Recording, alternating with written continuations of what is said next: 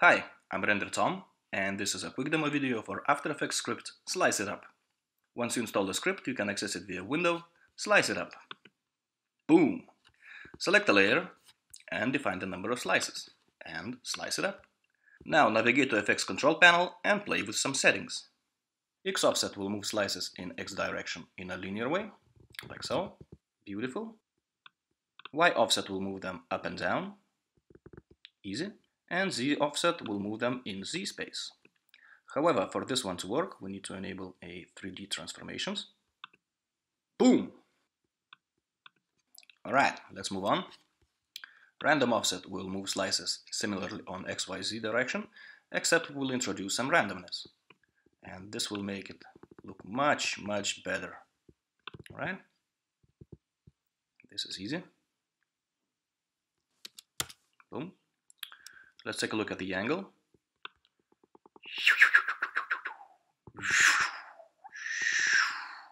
Beautiful. Beautiful. Let's set it to 45, like so. And let's see expansion. Expansion will basically, it shrinks or grows the, the mask of the slice. So if we play with width value and, you know, shrink it down, eventually our slices will disappear or they can grow. Same goes for the height property. All right, let's set it to minus 2. All right, so let's say we want to make our slices with random width. And how do we do that?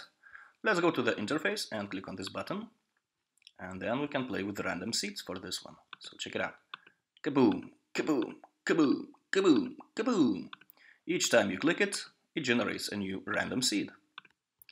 And this one button will take one step back so you can play and fine-tune until you find that perfect solution. Easy enough.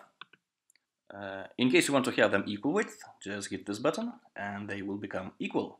This will randomize them, this will equalize them. Easy. Alright, what about flipping them? Well, now instead of having them horizontal, we want to have them vertical. Easy enough, check it out. You can always come to interface and change these parameters.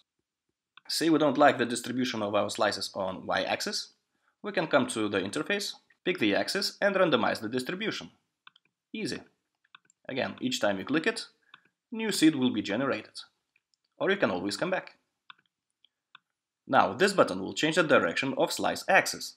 So instead of, let's say, first slice going upward and the second one going downwards, we can always randomize the direction. Check it out. Boom, boom, boom. It will still have the same speed as it had before when we generated with these buttons. However, the axis will be flipped. Easy enough.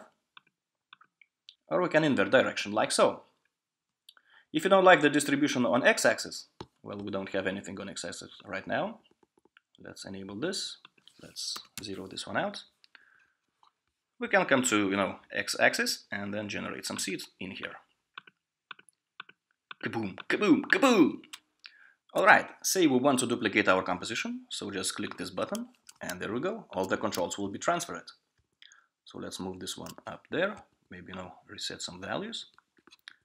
Set angle to 45, expansion minus 2 in this case, random y offset, and you know, move it over, like so. Come to the interface and generate new seed. So that's it guys, that's how you slice it up. Thanks!